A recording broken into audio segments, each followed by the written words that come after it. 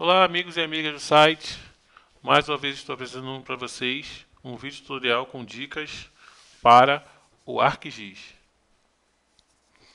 A dica que eu quero trazer hoje para vocês tem relação com o gerenciamento de cores durante a construção do seu mapa temático. Você tem um mapa temático para construir e precisa entender como você pode utilizar o padrão de cores RGB para realizar uma clonagem de cores. Como funciona? Como você sabe, o RGB é um padrão de cores processado no computador. Então, qualquer, qualquer cor no computador ela pode ser representada por um padrão de cores RGB, que significa vermelho, verde e azul. E, como, e, de que forma isso pode auxiliar no meu trabalho do dia a dia no ArcMap?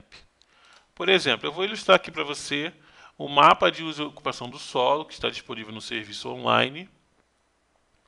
E o meu objetivo é realizar o download desse mapa de uso e ocupação do solo e, em seguida, utilizar o padrão de cores RGB para representação temática.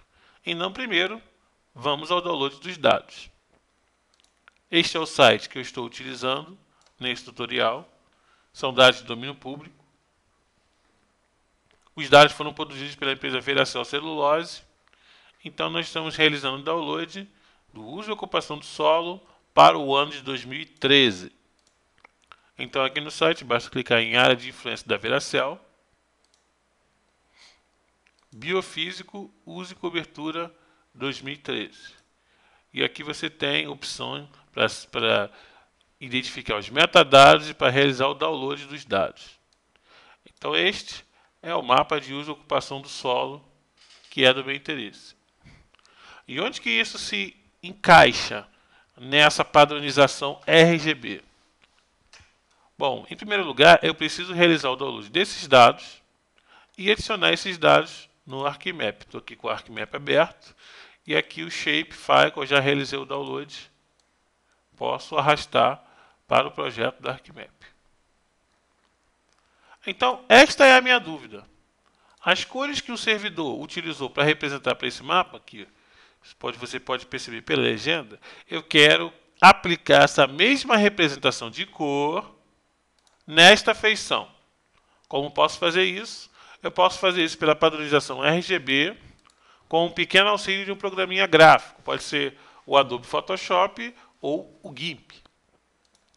A minha preferência é pelo GIMP porque é um software de código aberto, ou seja, você pode ter acesso em qualquer lugar sem a necessidade de realizar uma, uma aquisição de uma licença. Portanto, o GIMP é bem mais prático para fazer essa atividade. Daí, o que eu vou precisar dessa legenda? Preciso dessa legenda aqui e posso obter essa legenda com a captura de tela. Eu faço captura no browser com essa extensão para o Chrome. Você está vendo o nome aí. Então, basta eu capturar a página inteira.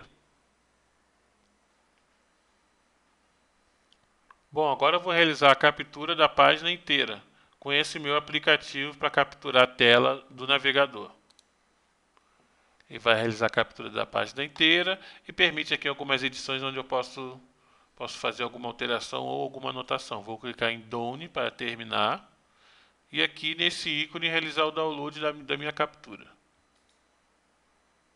Então posso salvar mesmo na área de trabalho, não tem problema. Com a minha captura pronta, eu posso visualizar ali a imagem. Essa é a imagem capturada e nessa imagem eu tenho aqui a legenda. E essa legenda obedece ao padrão de cores RGB. Meu objetivo agora é abrir essa legenda no GIMP e realizar essas capturas das cores. Então você precisa do GIMP, que é o programa gráfico, e arrastar essas cores para o programa. Tá aqui o GIMP possui a ferramenta chamada ferramenta de seleção de cores, que é essa ferramenta aqui. Use a tecla mais ou positivo do teclado direito para visualizar aqui na escala melhor. Ó. Teclado direito, mais ou menos, aproximar ou afastar a visualização. Então essa aqui é a imagem. E com essa ferramenta eu posso clicar sobre a cor desejada e entender qual é o padrão de cores RGB para essa cor. Espera que foi mal aqui.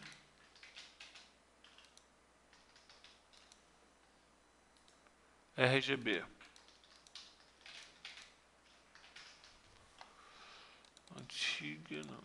Deixa eu ver aqui.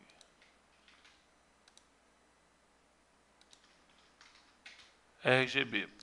Esse padrão de cores aqui. Então você pode clicar sobre qualquer cor e entender o padrão de cores RGB, vermelho, verde e azul. Por exemplo, agricultura. Vamos começar aqui a captura por agricultura, área degradada, deixa eu apagar isso aqui, não tem nada a ver. Agricultura, área degradada e área urbana. Então, clique em cima da cor, padrão RGB, 255, 255, 0, vai formar o amarelo. Então, é só anotar aqui. 255, 255, 0. Próximo tema, área degradada cancela na imagem, clica sobre a cor e clica sobre a paleta para entender qual o padrão RGB, 200, 209, 128.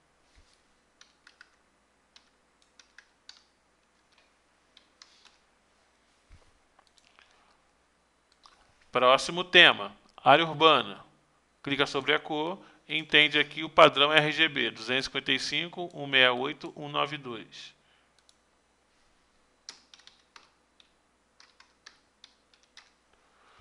Então, essa é a metodologia para você clonar um padrão de cores de uma legenda e aplicar isso no SIG. Agora, olhando aqui para o ArcMap, qual é o padrão de cores que eu devo aplicar para ter essa mesma representação do, da feição que estava no site? O padrão é simples. Você vai abrir a tabela de atributos e entender qual é a coluna ou campo que contém a classe desejada.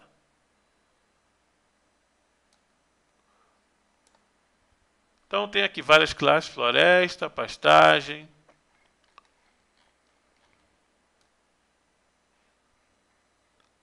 Área degradada. Então a coluna classe 13 contém o atributo que eu quero representar através de uma simbologia categorizada. Posso fazer isso nas propriedades da camada vetorial, categoria Symbology, clico na categoria que vai fazer uma representação temática para mim. É o estilo categorizado com base na coluna Class 13. Desmarca essa cor padrão aqui, adiciono todos os valores. E em seguida eu procuro uma rampa RGB. Posso selecionar aqui todas as cores. Botão direito. Propriedade para os símbolos selecionados. Selecionar aqui uma cor qualquer.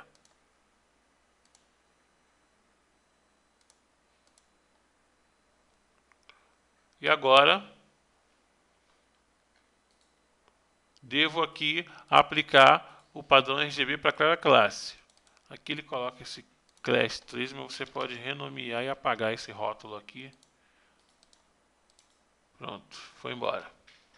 Agricultura, qual é o padrão RGB? Restaura a janela do ArcMap e aplica a cor que você anotou. Qual é o padrão para agricultura? 255, 255, 0. Mais cores, padrão RGB, 255, 255, 0. Amarelo. Área degradada, mais cores, sempre cor de preenchimento, 200, 209, 128. Próximo tema, áreas urbanas. Mais cores, padrão RGB 255, 168, 192.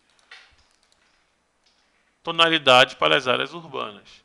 Então, se você seguir esse padrão de representação de cor RGB, você pode reproduzir a legenda de qualquer mapa. Às vezes você viu um mapa na internet, viu um padrão de cores considerou aquele padrão de cores adequado para o seu projeto, você quer fazer aquela, a reprodução daquela cor. Isso é simples quando você obedece esse padrão aqui RGB. Com o aplicativo gráfico é mais fácil, como você viu, basta clonar a cor e depois anotar o valor. Você pode também, por exemplo, se você tiver um nível alto de proatividade, você pode criar uma coluna na tabela de atributos da feição e guardar a representação RGB para cada tema. Obviamente, esse, esse dado aqui está fragmentado. Nós vamos considerar que fosse uma, uma tabela dissolvida, ou seja, através da dissolução pela, pela coluna class, class 13, eu teria somente as oito, oito classes. 1, 2, 3, 1, 2, 3, 4, 5, 6, 7, 8, 9, 10, 11, 12. 12 classes. E para cada classe, um padrão RGB.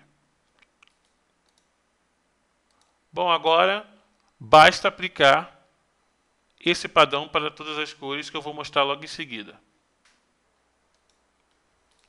Uma das vantagens do GIMP é utilizar um arquivo PDF que contém um mapa, um trabalho final, um acabamento, um mapa já finalizado e realizar a leitura desse PDF para a clonagem das cores. Então você pode também, por exemplo, aqui eu submeti uma imagem. Você pode simplesmente fazer um print do, de um PDF aberto, clonar as cores RGB que o efeito será o mesmo. Pastagem, próxima cor, queimada. É o vermelho sem mistura, 25500. Mais cores, 25500.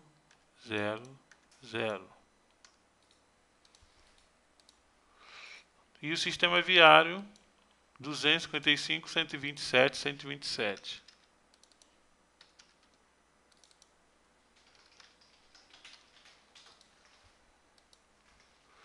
E assim, eu tenho aqui a representação de cor idêntica ao que estava lá no website. Então, lá no site, como você viu, estou com ele aqui aberto ainda. Estou essa representação de cores aqui ela foi reproduzida no sistema SIG, porque eu trabalho com o padrão de cores RGB. Trabalhando com o padrão de cores RGB, você pode clonar qualquer cor na tela e reproduzir de um mapa para outro. Essa aqui é a minha representação. Eu defini esse estilo de categoria através de classes e reproduzi na feição que realizei o download lá do site. É uma padronização, então, na primeira vez que você faz, existe todo esse trabalho de você usar uma ferramenta, um aplicativo gráfico, para copiar aquele padrão RGB e depois anotar o padrão para cada cor e aplicar no SIG. Bom, meu conselho, você pode, como, como já determinei, uma sugestão, uma sugestão bem interessante, gravar essa informação na tabela de atributos. Porque caso venha outra pessoa utilizar esse dado, ela sabe que o padrão que ela deve seguir de cores é este. Este é o padrão RGB para representação desse projeto. Então, ah, qual, quais serão as cores utilizadas para representar cada classe nesse projeto?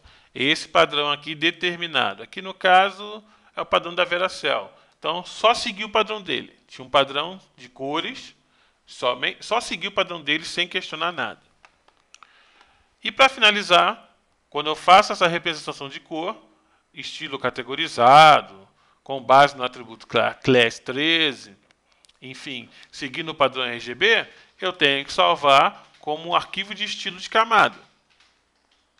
Porque se eu não salvar esse arquivo de estilo de camada, eu vou perder essa configuração toda vez que o dado for removido do projeto. Save as layer file aponto para a pasta onde está esse shapefile e determino ali que esse seja salvo também. Processos, padrão RGB, Veracel Shape. Salvo aqui com o mesmo nome da camada. Ele já seta aqui para mim, já configura aqui para mim. Então, posso remover tranquilamente a feição do meu projeto e arrastá-la novamente para o ArcMap. Como você viu, se eu arrastar aqui do catalog somente a feição de polígono, ele vem sem a representação de cor. Então eu devo arrastar o arquivo de estilo para conseguir de fato representar de acordo com as cores do cliente. as cores adequadas para o projeto. Outra forma de realizar essa tarefa é arrastar, obviamente, a camada vetorial sem representação de simbologia, acessar as propriedades na categoria Symbology importar o estilo de simbologia. Você pode importar a partir de um arquivo layer. Clica na pasta, vá até o diretório onde encontra-se o arquivo LYR de representação de simbologia. OK, define o campo ou coluna que contém a classe e ele vai restaurar o padrão de cores para o trabalho. O importante desse, dessa atividade que a gente realizou é que você venha conhecer o padrão de cores RGB. Quando você conhece esse padrão de cores vermelho, verde e azul para representação de cor em qualquer atividade na tela, ou seja, no computador, e não, a gente não está considerando aqui a impressão, somente a tela, você pode reproduzir qualquer cor para o seu mapa temático, para o seu projeto de geotecnologia, está certo?